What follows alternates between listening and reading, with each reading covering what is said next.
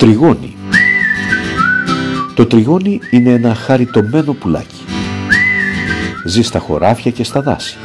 Τρώγει σπόρους και στη ράχη έχει ένα σταχτή χρώμα και στην κοιλιά του άσπρο. Το τριγώνι χτίζει τη φωλιά του στα δέντρα. Γεννάει αυγά και τα κλωσάει. Το κρέας του τριγωνιού είναι νοστιμότατο. Οι κυνηγοί σκοτώνουν πολύ τα τριγώνια. Γι' αυτό η δασική υπηρεσία επιτρέπει το κυνήγι ορισμένες μέρες το χρόνο. Τα τριγώνια ζουν ζευγαρωμένα και αγαπιούνται πολύ.